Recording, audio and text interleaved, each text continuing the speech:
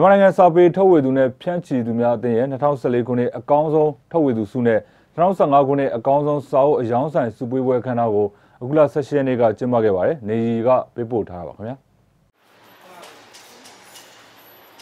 ဒီစုပေးပွဲအခမ်းအနားကိုအခုလ18ရက်နေ့နေ့လယ်တနာရီကရန်ကုန်မြို့ဘိုးတထောင်ဖျားလမ်းမှာရှိတဲ့ Orchid Hotel မှာကျင်းပခဲ့တာပါ။ 2014ခုနှစ်အတွက်အကောင်းဆုံးထုတ်ဝေသူစုကိုဆီယမစပယ်ဖြူနုရဲ့အမျိုးသားစာပေစုရမြောက်ဖျားကအလွမ်းရသည့်စာအုပ်ထုတ်ဝေတဲ့ခန့်ခဝီစာအုပ်တိုက်ကရရှိခဲ့ပြီး2015ခုနှစ်အတွက်အကောင်းဆုံးစာအုပ်အယောင်းဆိုင်စုကိုတော့ပန်ဆိုရန်စာပေလောကနှစ်စာအုပ်ဆိုင်ကရရှိခဲ့ပါတယ်ဟိုအနည်းအဖေတီထောင်ခဲ့တယ်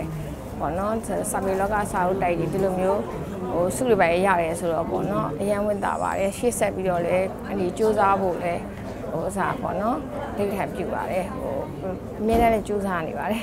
အခမ်းအနားမှာမြန်မာနိုင်ငံစာပေထုတ်ဝေသူနဲ့ဖြန့်ချီသူများအသင်းရဲ့ဥက္ကဋ္ဌဒေါက်တာတာထိုးဦးကအဖွင့်စကားပြောခဲ့ပြီးတွဲဖက်တွေ့မှုတဦးသိန်းစိုးကစုရေးချေအစီအကံစာကိုဖတ်ခဲ့ပါတယ်။ကြာရှိတဲ့စာအုပ်စာမျိုးကိုဆက်လက်ကြီးစစ်ရွေးချယ်အောင်ပါ။စာအုပ်ပြင်ဆင်ပိုင်းများမှာကွာခြားမှုတိတ်မရှိတာတော့လေစာအကြပေါက်နေမှုဈေးနှုန်းနဲ့အကျိုးမြတ် မတည်တမ်းတာပဲထုတ်သူသူအနေဖြင့်စုံစားထုတ်ဝေမှုပိုင်းများမှာထင်ရှားတယ်။စာရေးဆရာမစပယ်ဖြူလူရေးသားတဲ့ယောက်ျားကအလွမ်းရဒီစာအုပ်ကိုထုတ်ဝေတဲ့ကန်းတော်ဝီစာပေတိုက်ကိုရစ်ချယ်ရပါကြောင်းဥစွာတင်ပြပါတယ်။2015ခုနှစ်အတွက်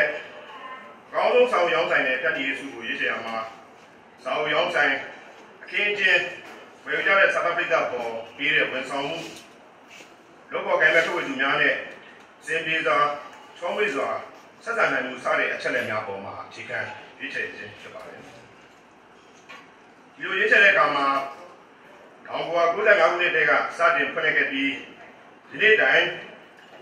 စာအုပ်ကတော်များပေါ်မှန်ကန်စွာရပ်တည်အကျိုးပြုလျက်ရှိပြီးဆိုင်ကင်းခြင်းတည်စမှုအော်ဒန်ဆက်ဆံရေးကောင်းမှုအစရှိတဲ့အချက်တွေ ပြည့်စုံတဲ့စာပေလောကနှစ်ကိုရွေးချယ်ခဲ့ပါတော့တင်ပြစီတာ